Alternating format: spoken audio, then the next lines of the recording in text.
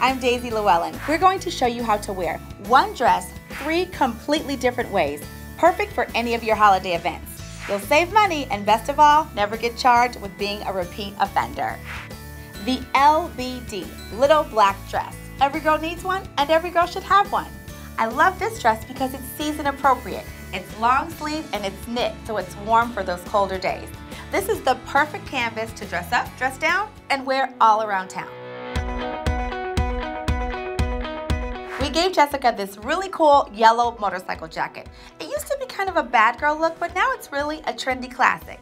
I love the strong color and it has the perfect amount of hardware, not too overpowering. A perfect investment piece, season after season.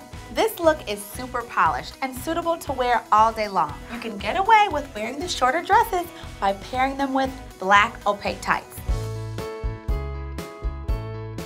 The key to layering without adding much bulk is by choosing thin pieces like this button-down shirt and cable knit sweater. Embellished collars are all the rage this season and a great way to bring some life to the family portrait. Flat riding boots are the most stylish way to be comfy and chic when running around with the kids. Sometimes all you need are accessories to make the change. These gold angle earrings help to make the dress feel special and have the color of the season oxblood. Sheer black nylons were huge on the runway this season and perfect for the evening. I love the Spanx version. They smooth out your tummy and lift your tush.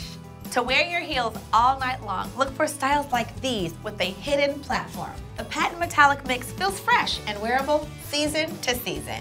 If you get a little chilly, opt for a sparkly crop jacket for a little extra sass.